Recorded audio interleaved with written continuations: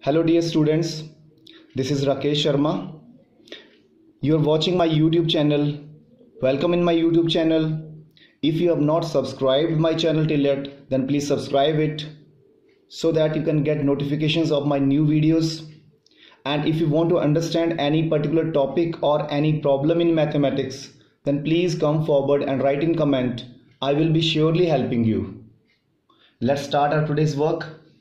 This is class 9 mathematics NCERT chapter 6 lines and angles and exercise 6.1 question number 5 in figure POQ is a line ray OR perpendicular to PQ so let's see here. In figure POQ is a line. It is a straight line and OR this is OR this is perpendicular to PQ this is OR is perpendicular to PQ it means angle ROQ and angle ROP both will be 90 degree.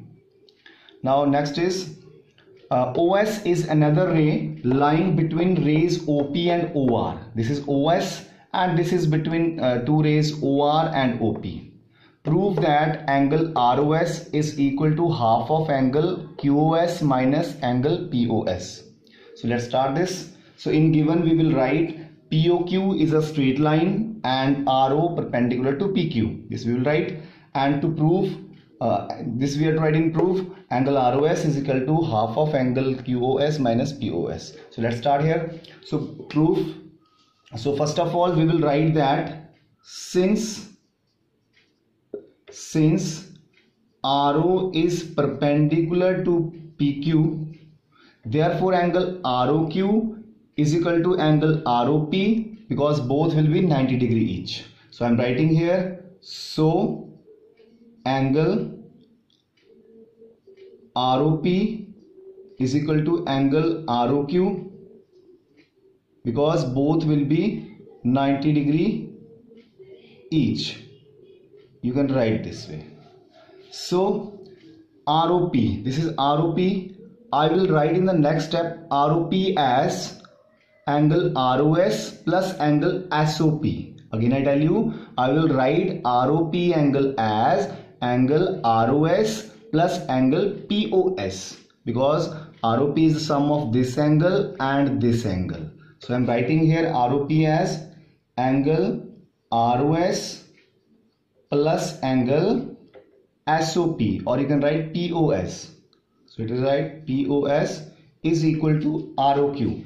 Now for ROQ, ROQ, for this angle I will write ROQ is equal to SOQ minus ROS. If I write this full angle SOQ minus ROS. So it will be this angle ROP, ROQ only.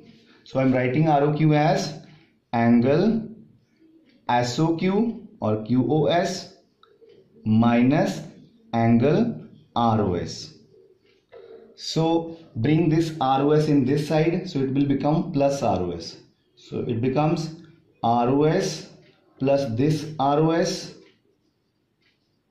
is equal to QOS and this will become in this side minus angle POS so ROS angle plus ROS angle becomes 2 ROS so 2 ROS is equal to QOS minus angle POS. So ROS is equal to this 2 will be here divide. So it will comes 1 by 2 into QOS minus angle POS. Hence proved. Thanks for watching.